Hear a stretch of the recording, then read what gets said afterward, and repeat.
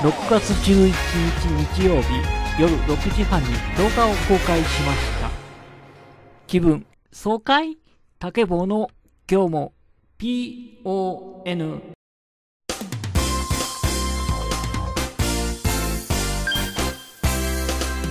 今日は2023年6月10日に GM ストア名古屋大須店で購入したアイテムの動画です。時間との戦い5動画。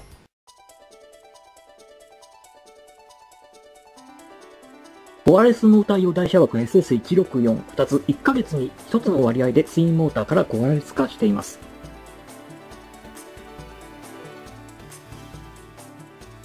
まあ、これは対空表示のインレタ。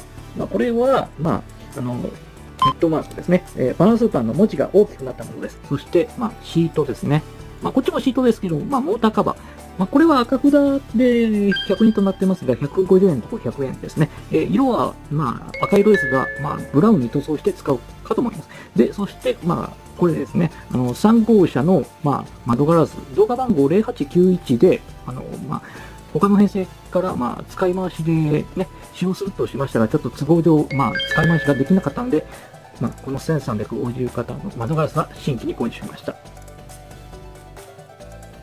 床板スペースは18.5メートル級、左がトレーラー車、右がモーター車用。いずれも、えー、中古で購入した、えー、床板とコアイスモーターに、まあ、このパーツが欠けていた。2個入り板が運がいいと1個入り販売もある。再び18.5メートル級用シート端パーツを購入。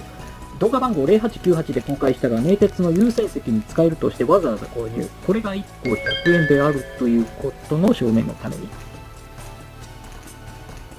500円となっているが、ドローバーホルダーがあるので、それも加算されています。ホルダーがなければ400円、ホルダー1個50円、スカート1個200円。2000系はボディマウント TM カプラー化したが、えー、V 社はドローバーに、またはえー、着脱式、えー、ダミーカプラーのため、え、本来の、えー、グリーンマックス使用用途に、えー、します。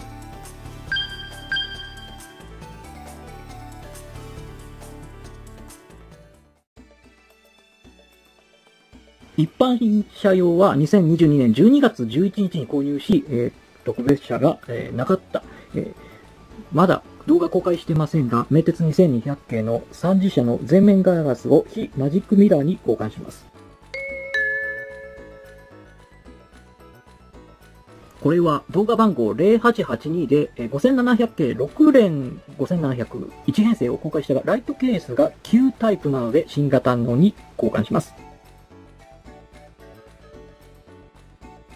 動画番号0889で溶剤のミスで床下機器が溶けて使い物にならない。幸い在庫があったが、他の床下機器と比べ価格が倍。蓋がついている分高い。まあ、1両分で良かったが、予備として奇数号車、偶数号車用各1個ずつ購入。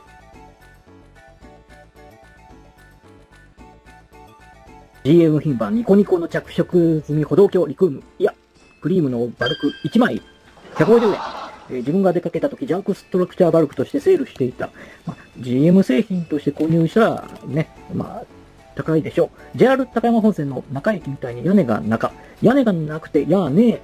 これらは今後一つの動画として作れますね。いつかわからんが。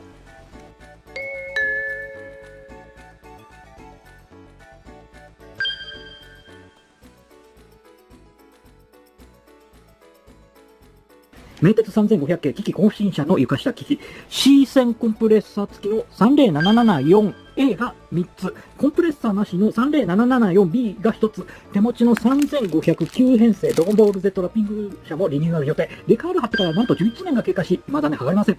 なんで、えー、こんな3対1の組み合わせで購入したかというと、ク3500と3600は床下機器を丸ごと使うのではなく、部分カットして使うということです。これは GM ストアの係員から切ったものです。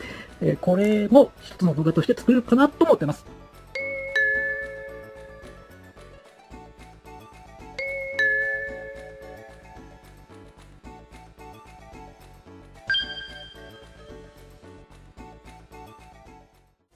面白うて、やがてためになる教本。